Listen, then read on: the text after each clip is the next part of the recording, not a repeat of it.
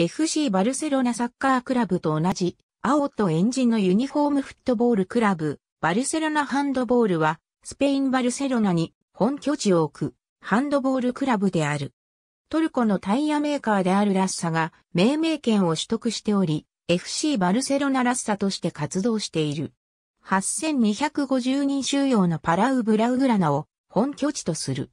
この施設は FC バルセロナのバスケットボール部門、フットサル部門、ローラーホッケー部門の各チームと共同で利用している。FC バルセロナのハンドボール部門として、エンリケ・ピニエイロ会長時代の1942年11月29日に創設された。当初は11人制で競技を行っており、1950年代後半までサッカーのフィールドを使用していたが、その後は本格的に屋内コートでの7人制を行うようになった。